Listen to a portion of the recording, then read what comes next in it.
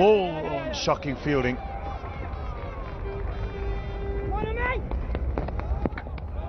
I think, you know, you've got to be clever to play this game, cricket. It's a good shot. Down the ground, he advances. And uh, the on drive, straight past the bowler. Good shot. That's over the top. Couple of bounces, four more. Oh boy, this is starting to look good for Zimbabwe now. Good striking. And then a short one, and that one outside off stump. That one going to the boundary. That'll be four.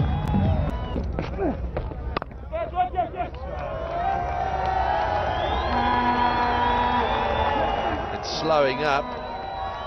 No, it won't quite make it.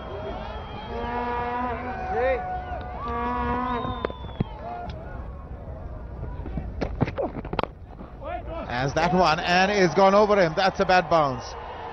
It almost took his head off. It's been the feature of this entire tournament. The side chasing has always ended up the winner. With that single loud cheer, 50 for Masakadza. He's a happy fellow. Deserves it. Well played.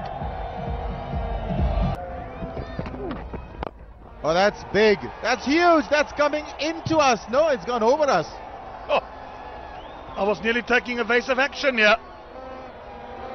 That was a good hit. It That. is still traveling. I reckon that'll be over 100 meters. And another. And another one. That's out of here as well. Six more. They're not even going to wait for 40. Absolutely. I mean, the intentions are clear from Zimbabwe. In the air, and that's been taken.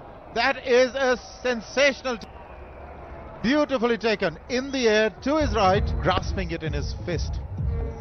Oh, have a look at this. R- At full stretch and s- s- in the air. So uh, I got to tell you, another two inches, and he wouldn't have uh, he wouldn't have caught that for sure.